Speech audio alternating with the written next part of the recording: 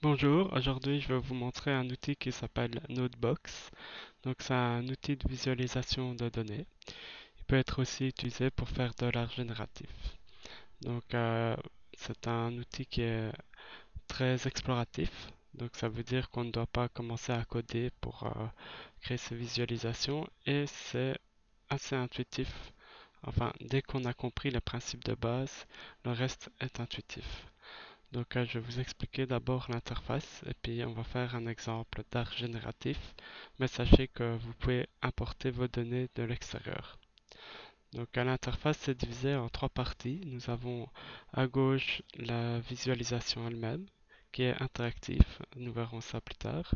En haut à droite nous avons les paramètres qu'on peut rentrer pour euh, le nœud sélectionné. Et enfin en bas à droite nous avons le graphe donc euh, un graphe qui sera constitué de nœuds. Donc nous allons commencer par explorer un peu ces trois vues.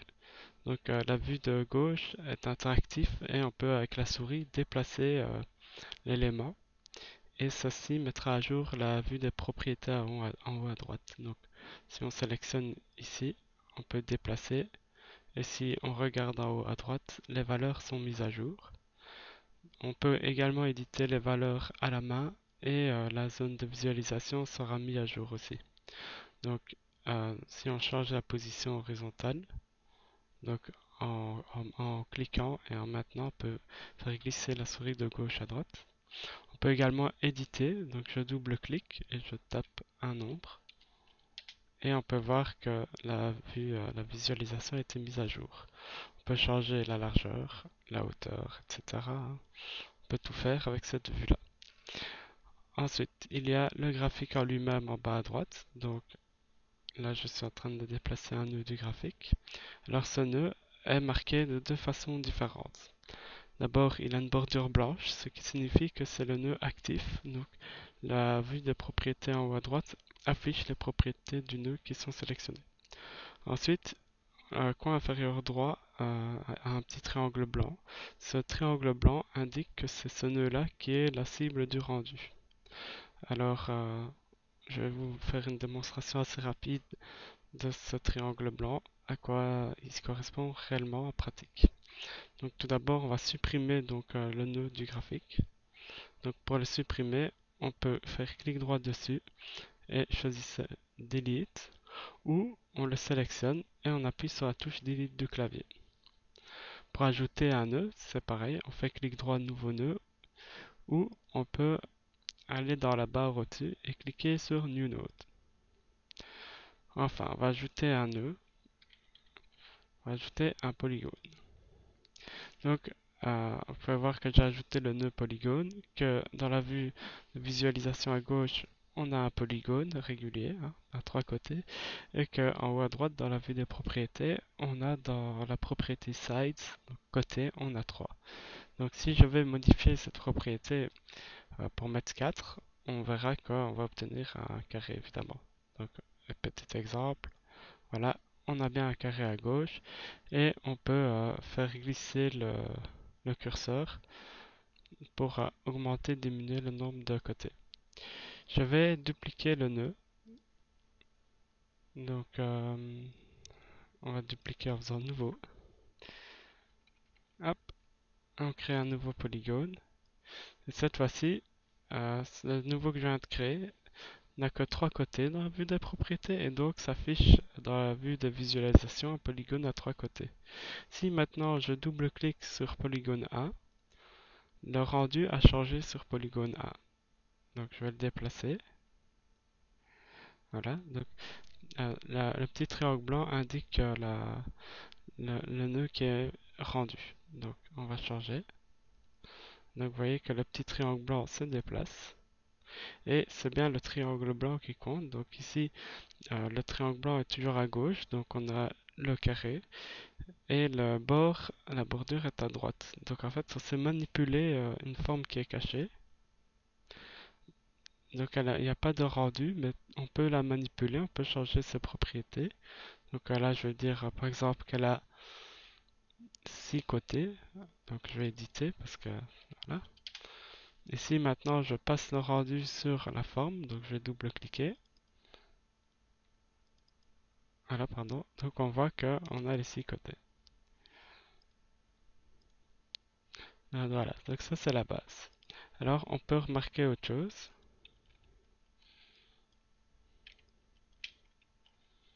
C'est que les, les, nœuds ont des petits rectangles de couleur au-dessus, donc bleu et gris. Ceux-ci sont les ports. En fait, si on, sélectionne un nœud, on va voir que dans l'éditeur des propriétés, on a des propriétés effectivement et que les ports sont dans le même ordre. Donc ici on voit que sur polygone 1, donc en bas à droite dans le nœud, on a 4 ports et au-dessus, dans la vue des propriétés, on a 4 propriétés. On aurait position XY, le radius, les sides. Effectivement, position XY, le radius, le size et le align, donc euh, la cinquième propriété. Alors oui, en effet, il y a une propriété qui est une propriété de type point, position. Donc il y a deux champs, mais c'est une seule propriété. Donc maintenant, on va passer à un exemple un peu plus intéressant. Donc je vais de tout vider partout. Et on va essayer de faire euh, une fractale. Une fractale assez simple. premièrement, on va créer un nœud de type polygone. Voilà, et on obtient un triangle que je vais déplacer. Voilà, pour centrer. Alors, on va essayer de faire euh, un peu euh, une fractale à la Sierpinski. Donc, c'est-à-dire, elle est comme le... Enfin, vous allez très vite voir, voilà, parce que j'ai pas le nom, mais c'est un peu comme le flocon de coche, quoi. Donc, on va ajouter un nœud.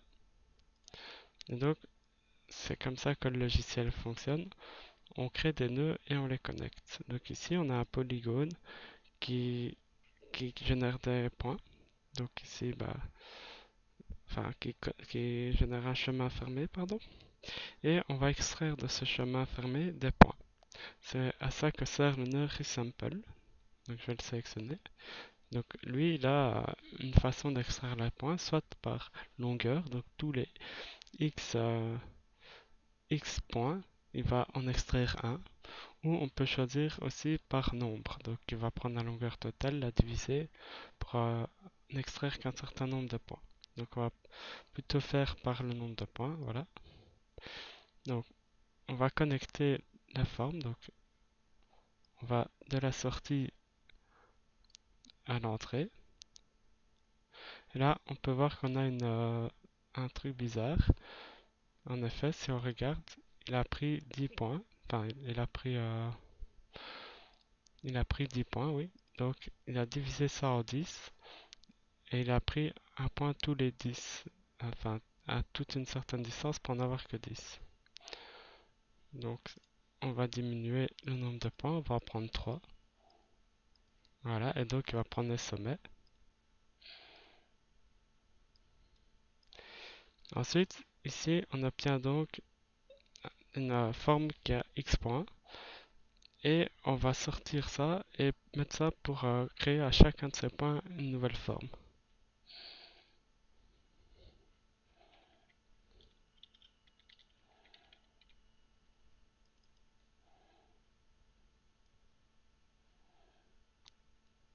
Donc là, on vient de créer trois triangles.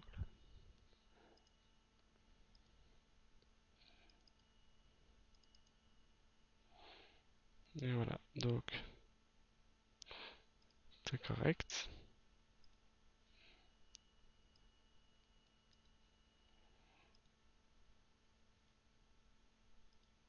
Voilà, donc là il y avait 4 mais c'est 3. Donc là on a créé trois triangles. Donc dans notre triangle original qui est ici, on a pris 1, 2, 3. Et alors, on a créé notre trois triangles. Donc le triangle, il est ici. Et 1, 2, 3. Donc euh, si on répète ce process,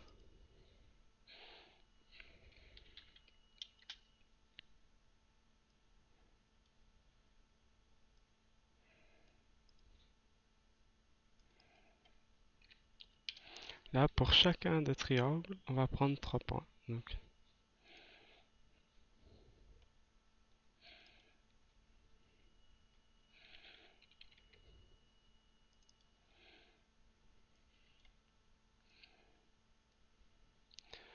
Et évidemment, il faut mettre un radius un peu petit. Sinon, on ne voit rien. Et il faut extraire toujours par nombre.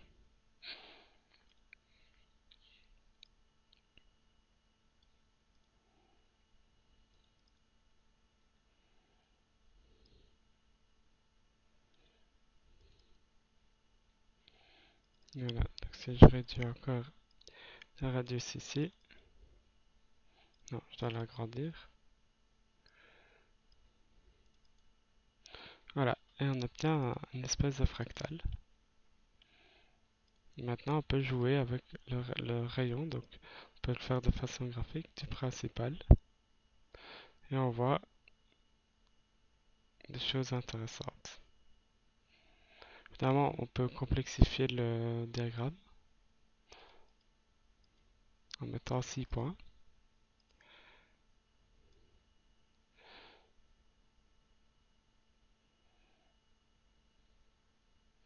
Du coup, ça va être déjà plus complexe.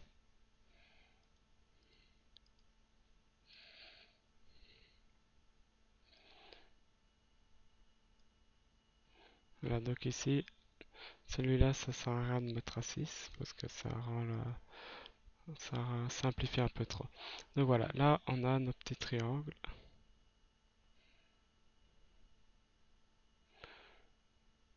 Donc là, par exemple, ça, c'est un c'est une vue qui est pas très intuitive. Hein. On ne sait pas trop dire comment elle a été créée, mais bon, nous on le sait vu qu'on a fait le graphique. Voilà. Donc ça, c'est une première fractale. Alors évidemment, on peut l'animer aussi. Donc euh, on va ajouter un nœud qui va nous permettre de l'animer. Alors comment on peut l'animer? Là, on va changer les propriétés en fonction du numéro de la frame en cours. Donc une animation est faite de frames. Chaque frame est numérotée. Donc on va ajouter un nœud qui s'appelle évidemment frame. Et cette frame-là, c'est un numéro qui va s'incrémenter 1, 2, 3, etc. jusqu'à l'infini. Enfin, c'est pas vrai, mais bon, on va dire que c'est jusqu'à l'infini. Et euh, donc, on veut un peu canaliser ce numéro pour, qu'il reste dans une plage, euh, une plage correcte. Alors, la plage qu'on veut, c'est euh, celle du rayon de notre forme ici. Donc si on regarde, donc n'oubliez pas que le rectangle blanc c'est la sélection. Donc je dis que je veux faire le rendu du polygone 3 et je sélectionne le polygone 1 et ainsi je peux modifier euh, le rayon. Alors pourquoi je veux modifier le rayon? Ben, Simplement pour savoir jusqu'où c'est intéressant d'avoir le, le, rayon. Donc là tout ça c'est pas intéressant. Par contre d'ici à là, à 0, c'est intéressant. Donc, on va aller, voilà, donc jusqu'ici, c'est intéressant. Donc, on a un rayon de 200. Je vais même déplacer ça, voilà. Donc, on a un rayon de 200. Donc, maintenant, on va animer. Donc, il faudrait que le rayon aille de 0 à 200 de façon assez smooth, quoi. Et, et qu'il revienne et, que ça cycle. Alors, pour ça, ils ont prévu, hein, c'est assez haut niveau. Donc on veut une fonction de ondulation. Et on va rentrer ça dans le offset. Ensuite, ici, on doit mettre le maximum. Donc, bah, au maximum, on va sortir 200. C'est la valeur qu'on a repérée. Le minimum est à 0. Voilà. Et donc, on peut voir que euh, l'offset est connecté. On peut également changer euh, le type de, vague. Hein. Square, ça, irait de 0 à 200 instantanément. Et triangle, ce sera pas assez naturel. Et Sawtooth, c'est comme triangle, mais euh, ça irait instantanément de 0 à 200 et puis linéairement de 200 à 0. On peut inverser évidemment. Hein. Alors ici, on va rentrer donc on sort la valeur de wave et on va le mettre dans le radius. Voilà. Et donc si on lance l'animation, il faut évidemment sélectionner le polygone 3 pour le rendu. Et on a l'animation. Alors ici, elle est un peu trop rapide. Hein. On n'a pas le temps d'apprécier. Donc on va un peu modifier la vitesse. Alors comment peut-on modifier la vitesse? Il n'y a pas de, de, propriété pour dire qu'il faut rendre les frames plus lentes. Par contre, on peut calculer ça. C'est-à-dire qu'on va faire un rendu de plusieurs frames qui sera la même.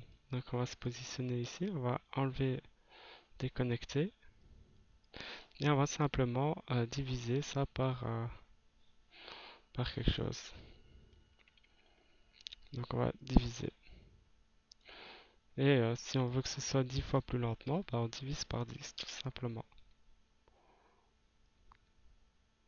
Donc maintenant, on va gérer la vitesse de l'animation depuis notre programme. Donc évidemment, on va pas se tromper. Donc voilà, on va aller dans Offset. Hop. Et maintenant, on relance l'animation. Et on doit faire évidemment le rendu du polygone. Donc ici, on a ralenti, c'est 10 fois plus lent. On peut évidemment changer cette vitesse en changeant, bah, en changeant le diviseur.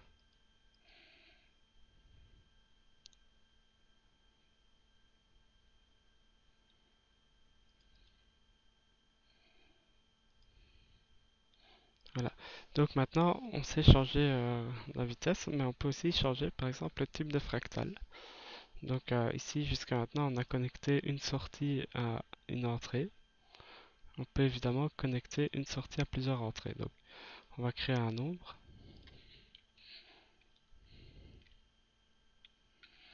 Alors, on va pas prendre un floating point, on va prendre un entier. Donc avec plein de possibilités. Donc un integer, c'est en anglais. Alors, cet entier-là, on va le connecter au nombre de côtés.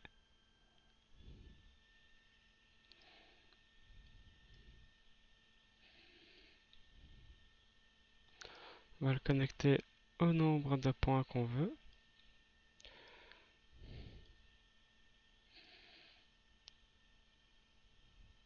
Donc ici, c'est juste de la connexion, hein, rien de... Remarquez que le logiciel m'aide en grandissant la pin qui accepte le type de données que je suis en train de glisser. Bien qu'on puisse euh, glisser ces données sur notre pin et il fera la conversion. Ben, il est assez intelligent. Voilà, alors j'essaie d'avoir quelque chose de propre, c'est pas évident. On déplace le rendu Et maintenant, voilà, donc ça c'était le triangle. Ici on a le carré. évidemment ici on avait une astuce, c'est qu'on faisait le rendu de deux fois plus de, points. Donc si je remets, ici on en mettait 6. Ah, pardon. Donc on garde notre 3. Et ici on met ces 6.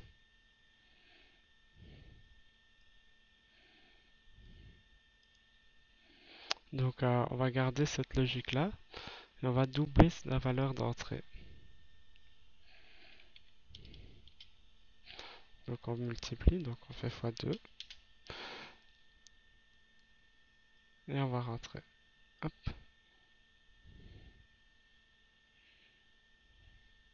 Donc on connecte. Voilà, donc on a toujours le même euh, paramètre d'entrée.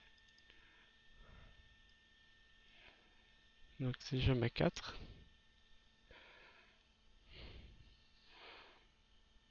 on a avec les carrés.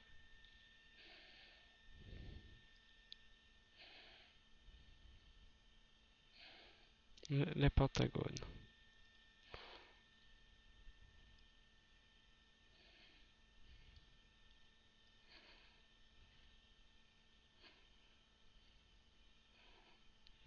Évidemment, il est possible de changer la valeur euh, dynamiquement pour rendre ça plus intéressant.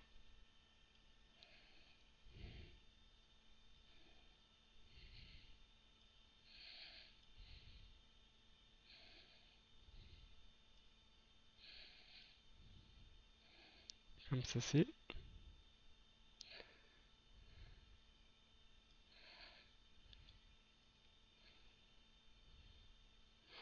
Des étoiles apparaître on fait attention. Ouais, c'est hautement exploratif, on va dire. Voilà. Donc ça, c'est le principe des animations.